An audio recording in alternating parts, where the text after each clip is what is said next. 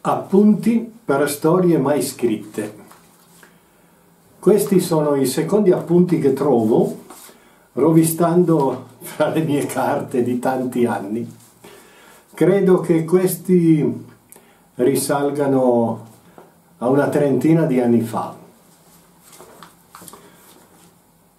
Scese dal treno, si fermò sulla banchina e accese una sigaretta guardandosi attorno.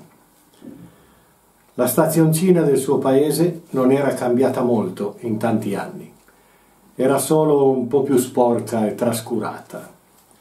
Era partito, anzi era fuggito, che aveva quasi 18 anni, lasciando nella disperazione i genitori e la sorellina, che era ancora una bambina.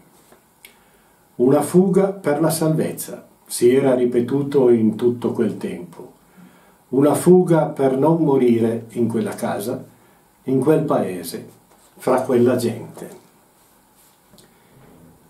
Ed eccomi di nuovo qua, pensò aspirando una boccata di fumo.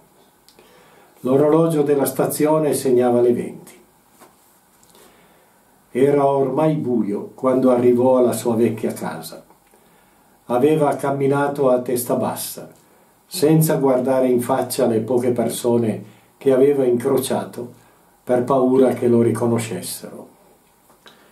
Notò che il giardino era molto trascurato, pieno di erbacce. La facciata della casa era sempre uguale, solo un po' scrostata qua e là. La finestra della cucina era illuminata. Si avvicinò di soppiatto come un ladro e sbirciò all'interno. La tavola era apparecchiata per la cena. Riconobbe con un tuffo al cuore la tovaglia a quadretti, quella di tutti i giorni. Suo padre sedeva a capotavola, come sempre. Sua madre serviva la minestra. Una donna giovane, ma dall'aspetto trascurato, rincorreva un bambino che fuggiva per tutta la stanza emettendo dei gridolini divertiti. Tutti ridevano, ridevano di cuore. Il primo treno del mattino partiva alle 4.23 per eh, non importa dove. Lo prese dopo aver passato la notte nella minuscola sala d'attesa, ripensando a quei due vecchi, provati dalla vita e dall'età a quella donna trascurata, a quel piccolo pieno di energia e a quelle risate sincere, autentiche, che risuonavano nella cucina.